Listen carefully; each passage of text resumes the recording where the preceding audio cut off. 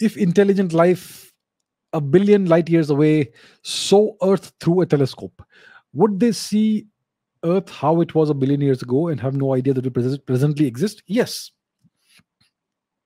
Light is not uh, does not travel at an instantaneous speed. It travels at 300,000 meters per second, 3 lakh meters per second, right?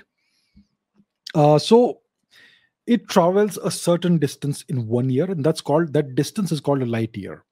So if a galaxy is a billion light years away from us, and they are looking at the Earth from a telescope, then they will see the light that left the Earth a billion years before ago.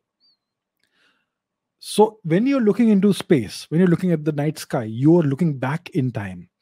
Let's say you're looking at the Andromeda galaxy, which is about 1.5 million light years from here, I believe.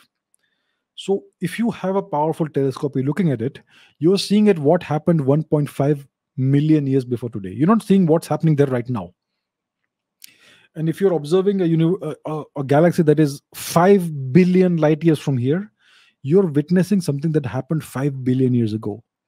And similarly for them, if they are looking at us and they are 1 5 billion years ago, uh, light years away, they are seeing what happened here 5 billion years ago, which would be the protostellar disk or the before the birth of the solar system.